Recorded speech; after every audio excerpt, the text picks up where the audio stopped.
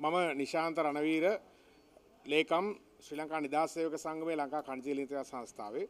අද රනිල් වික්‍රමසිංහගේ ආණ්ඩුව මෙරටේ රාජ්‍ය ව්‍යාපාර සහ රාජ්‍ය සම්පත් විශාල වශයෙන් විකුණන්නට සූදානම් වෙලා තියෙන වෙලාවක එහි දැවන්තම තර්ජනය තිබෙන්නේ ලංකා කංජල් නීතිකා සංස්ථාවට. අපේ රටේ වැදගත්ම ආර්ථික මර්මස්ථානයක් තමයි ආර්ථිකයට විශාල දායකත්වයක් දක්වන මේ ලංකා කණිතිල් නීතික සංස්ථාව එහෙම නැත්නම් ඉන්ධන ව්‍යාපාරය මේ මේ මේ ආණ්ඩුව මේ ආණ්ඩුව විශාල උත්සාහයක් ගන්නවා පෞද්ගලිකරණය කරන්නට. අපි ඒකට අවස්ථා ගණනාවකදිම අපි සේවකයෝ විදිහට වෘතිය සමීති විදිහට අපි උත්තර දුන්නා මේ තෙල් සංස්ථාව විකුරන්නට සූදානම් වෙන්නේ ඇයි කියන එකට කාරණාව. ඇත්තරම මේ මොහොත වන විට රනිල් වික්‍රමසිංහ එහෙම නැත්නම් විශේෂභාර අමාත්‍ය කාංචන විජේසේකර උත්සාහ කරන්නේ තෙල් සංස්ථාව පාඩුයි තෙල් සංස්ථාව පාඩුයි කියලා විකුරන්නට.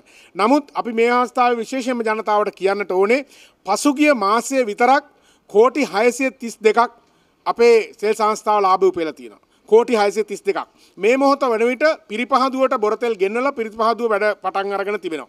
ඒ වගේම මිල සූත්‍රය අනුව තෙල් සංස්ථාව මිලසයුත්‍ර අනුව මේ වෙලා ක්‍රියාත්මක කරනවා නම් අපි ජනතාවට වගකීමෙන් කියනවා පිරිපහදුවත් වැඩ කරන මේ මොහොතේ බොරතෙල් මිලත් අඩු වෙලා තියෙන මේ මොහොතේ මිල සූත්‍රයේ ක්‍රියාත්මක කරනවා නම් තෙල් සංස්ථාවට පාඩු නොවි තවත් රුපියල් 100කට වගේ අඩු ප්‍රමාණයකට තෙල් මේ රටේ මිනිස්සුන්ට දෙන්නට පුළුවන්. ඉන්ධන රුපියල් 100ක් විතර අඩුවෙන් දෙන්නට පුළුවන්. නමුත් අමාත්‍යවරයා මේ මොහොත වනකටත් මේ වැඩපිළිවෙල සද්ද නොකර තමන්ගේ අවශ්‍යතාව ඉෂ්ට කර ගන්නට කටයුතු කරනවා. ඒ වගේම තව දෙයක් කියන්නට ඕනේ දැන් තෙල් සංස්ථාව සතුව පෙට්‍රල් භූමිතෙල් ඩීසල් මේවා සියල්ලම ඇති තරම් තොග තිබෙනවා. නමුත් ඇයි මේ තවමත් ෂෙඩ්ඩොල එම නැත්නම් පිරවුම් හල්වල පෝලිම් තියෙන්නේ. ඒකට ප්‍රධාන හේතුව තමයි අමාත්‍යවරයා ප්‍රමුඛ රජය උත්සාහ කරනවා තෙල් සංස්ථාව ඇතුළේ තෙල් නැහැ මේකට වග කියන්නට ඕනේ සේවකයෝ එහෙම නැත්නම් තෙල් සංස්ථාවට තෙල් සැපීමේ ක්‍රියාවලිය හරියාකාරව නිසියාකාරව කරන්න බෑ කියන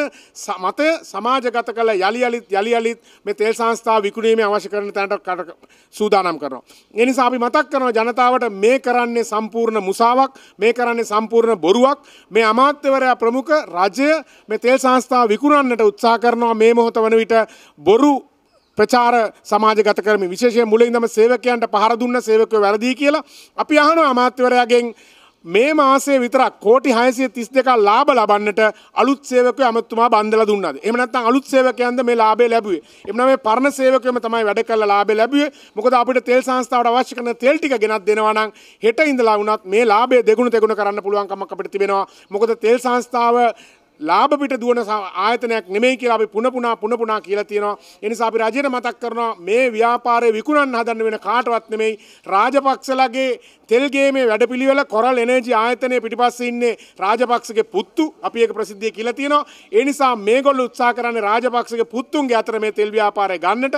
එහෙම ගත්තට පස්සේ මේ රටේ තෙල් වල මිල නියම කිරීමේ අයිතිය යන්නේ පෞද්ගලික අංශයට. එහෙම වුණාම අද දවසේ හාල් වල ගෙඩි හාල් ටිකට පාන් ගෙඩියට සහ අනිකුත් සියල්ලටම වෙලා තියෙන දේ තෙල් වලටත් අනිවාර්යෙන් සිද්ධ වෙනවා. එතකොට ජනතාවට ලීටර රුපියල් 1000කට එහා පැත්තේ තමයි තෙල් ගන්නට සිද්ධ වෙන්නේ. ඒ නිසා අපි කියනවා ජනතාවට මේ වෙලාව එකතු වෙන්න මේ තෙල් සංස්ථාව සහ රාජ්‍ය ව්‍යාපාරය විකිණීමේ වැඩපිළිවෙලට සහයෝගය දක්වන්න. ඒ වගේම අපි රනිල් රාජපක්ෂ මතක් කරන්නට ඕනේ.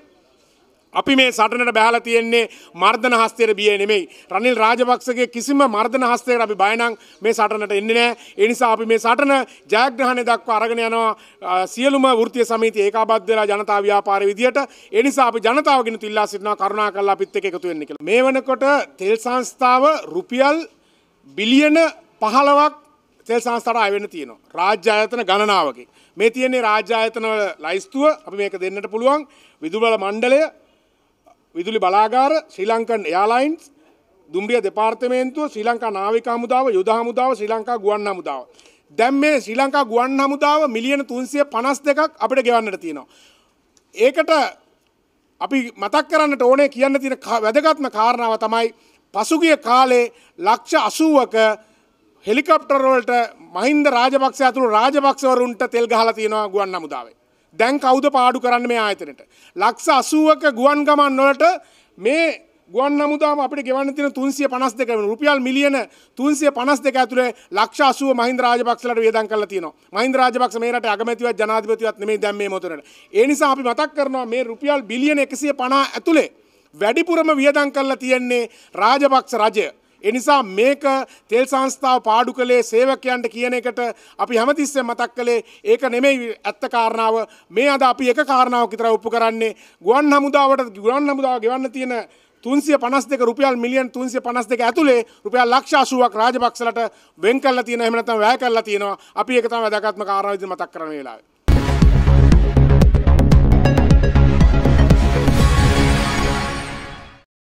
පුවත් දෙසනින් දැනගන්න ලක්දරන අපිව සබස්ක්‍රයිබ් කරන්න. වීඩියෝවට ලයික් කරන්න, කමෙන්ට් කරන්න, ෂෙයා කරන්නත් අමතක කරන්න එපා.